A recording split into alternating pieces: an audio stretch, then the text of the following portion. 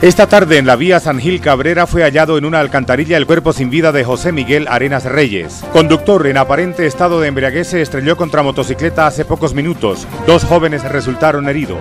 Tres accidentes de tránsito ocurrieron en San Gil durante el fin de semana. A la edad de 83 años falleció la educadora Carmen Barrera, madre del senador Jaime Enrique Durán y del fallecido alcalde Ricardo Durán Barrera. Ministra de Ambiente, Vivienda y Desarrollo Territorial confirmó más de 10 mil millones de pesos para acueducto de Barichara. Gremio del sector cárnico solicita prorrogar cierre de la planta de sacrificio de ganado. Con eventos académicos, el programa de psicología Unisangil UNAP celebra sus 10 años de existencia. Hasta el miércoles 9 de noviembre, el Consorcio Prosperar recibe afiliaciones al programa de subsidios para pensiones.